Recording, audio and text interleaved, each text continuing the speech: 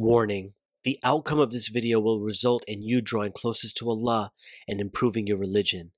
Viewer discretion is advised. I want to I want to give you a message of hope, my bro Daud. A message of hope. Alhamdulillah for this mistake. Why? Because without this mistake, you would never have discovered or accepted Islam. You felt so bad and humiliated for your act and for your deed that this directly led you to Islam. What a better ni'mah than this. So anyone who's stuck out there, maybe in a court case, maybe you've done something before Islam or before you were practicing Islam that you're stuck in right now just know Allah subhanahu wa ta'ala is with you. And the guilt from doing that act has caused you and propelled you to become closer to Allah and a better Muslim. Way of life SQ, keeping it a hundred. Uh, thank you for watching. No, you have to say Assalamu alaikum. Remember, Assalamu alaikum. Um, welcome back to my YouTube channel. I'm so grateful, thankful. but thank you for watching my video. Bye. Where's the energy? Maybe Haya could do a better job. Go ahead. Welcome back to my YouTube channel. Um, I'm so grateful, humble, humble. thank you for watching my video, humble, and thank you. Say bye now. Say bye now. Bye. That's my intro. My bro Daud Kim is a good man. MashaAllah, a lot of you guys sent me the link to his video about him saying, I'm sorry and apologizing for his misconduct in the past during his Jahiliyyah time.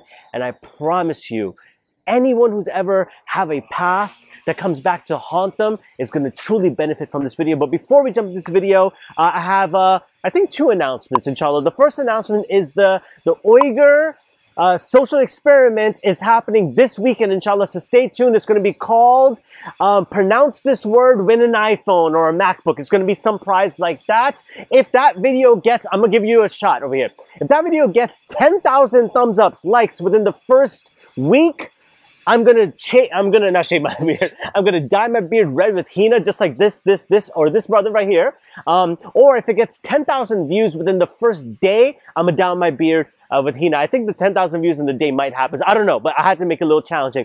The second thing is uh, that I'm making a video about sexual relationships between the husband and the wife. And those, I'm sorry if you can't hear me right now. I'm gonna be a little louder sexual relationship between the husband and the wife or someone about to get married and how uh, you know how intimacy works between those two people. That's going to be for an older mature audience so stay tuned for that. Also a third bonus announcement. I went to the dawa, pa- uh, Dawah Man podcast yesterday. We filmed it yesterday and bro it got heated. I did not expect it to be that way and me and this guy fought on that podcast. Stay tuned. That's going to be out next tuesday. Uh, but yeah that that's basically uh, the announcements. Now let's jump into this video all right. So, um, basically, my man Daud Kim, good brother, good man. That's why the video is called, That's how this video is called Daud Kim is a good man. Because honestly, hearing him and his apology, I think he's done. Hearing him and his apology and how he is as a person and what he did excuse me, what he did in the past and how he is as a person now was heartwarming to see. But honestly, just seeing him cry and getting emotional made me upset. So I want to do something to, before I talk about this video and talk about him, to put a smile on his face and your face as well. Let me, let me try to do this right now. Let me, let me try to do this. I think this is so much more better, don't you think? MashaAllah, my, my entire goal was to make brother Daud Kim smile. I gotta take this off my face for a second because I can't see actually. Um, and just seeing him and how he was in that video really broke my heart because he looks like such a fun person, a, a, a charismatic person, a happy person. And just listening and watching that video broke my heart because you could hear the remorse in his voice. And if you haven't seen the video, it's, it's okay. I'm explaining about it. You see, if you haven't been through that lifestyle, you would not understand what my bro Daud Kim is going through. You see, people who come from this Jahiliyyah lifestyle have to live with the price of Jahiliyyah. You see, the things that he is accused of doing and has admitted to be doing, that's the cost of Jahiliyyah. That's what you guys don't understand. Jahiliyyah comes with a price. And the price is usually things like this. I remember the cost of one of my Jahiliyyah episodes was a scare that this girl might be pregnant. That's all a part of the cost of Jahiliyyah. But the real, true people who are the highest of levels in paradise and the ones who are honored the most and the best of the sinners are those who repent for their sins. Now I want to leave this advice for my bro Daud Kim because honestly, he looks like such a good brother, mashallah, and you could just tell the sincerity in his voice. I want you, Daud, to not think of this as a huge L that you caught in your life. Yes, be regretful, be remorseful for your actions and how you've done it. Sexual assault and sexual harassment is a true and real thing that happens in our society. A lot of men don't understand what no means no. Obviously, this explains why Allah subhanahu wa ta'ala wants us to stay away from haram, haram relationships, alcohol, zina. Why? Because these things come with its own sets of problems. The problem that this alcohol has that you can't control your nafs. You blacked out, my guy.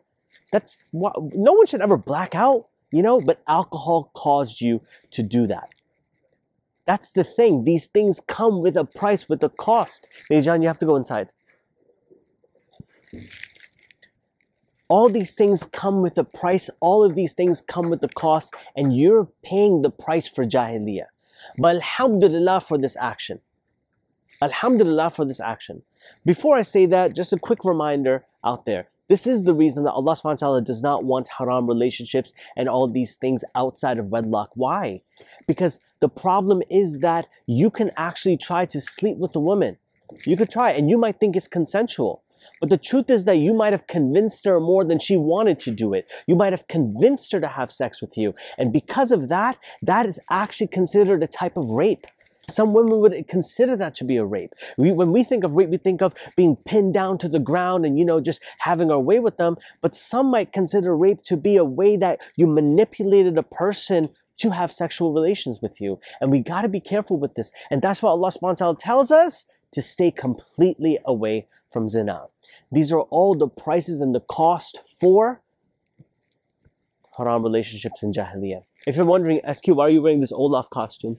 Just letting you know, this is an announcement for our pretend play thing and to put a smile on Brother Daud Kim's face. mashallah, he was so upset. I wanted to put a smile on his face and preview my pretend play. Remember, I'm starting a pretend play channel with my children, inshallah, and uh, it's going to be Islamic content strictly for children, inshallah, where they get their Islamic identities and help them influence and uh, make other children who are Muslims into leaders, inshallah. But I want to I want to give you a message of hope, my bro Daud, a message of hope. Alhamdulillah for this mistake. Why? Because without this mistake, you would never have discovered or accepted Islam. You felt so bad and humiliated for your act and for your deed that this directly led you to Islam. What a better ni'mah than this. Yes, it's unfortunate that you had to go through that and hurt and harm a sister in that process. And may Allah subhanahu wa ta'ala bless her, guide her, and grant her the highest levels of paradise. Ameen.